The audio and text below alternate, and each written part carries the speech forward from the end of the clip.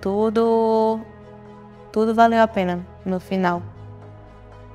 Quando foi na metade do ano de 2022, eu descobri que tinha SOP.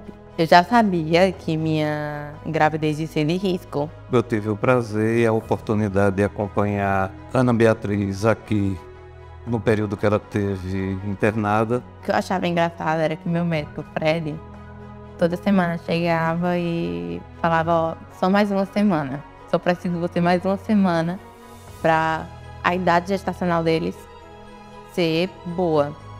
Quando foi na última semana, ele viu uma alteração na CM de Arthur. O Dr. Fred veio aqui, me explicou e disse, ó, amanhã eu marquei sua, seu parto. O exemplo que essa moça dá de amor pelos filhos para poder conseguir proteger a ela e os filhos é um exemplo muito bom nos dias de hoje para a gente apreciar.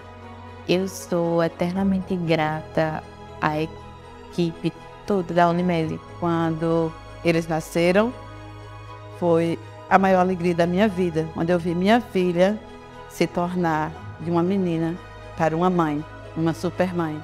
Ela vem se revelando, né, essa menina, mãe, mulher, que tem amadurecido ao longo do tempo. Eu tenho um agradecimento especial a toda a equipe Unimed Caruaru, porque se não fosse todo carinho, empatia, eh, dedicação, cuidado, ela não estaria onde está com os dois filhos, Luca e Arthur.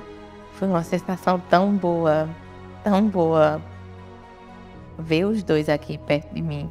Foi aí que eu comecei a entender o que era mãe.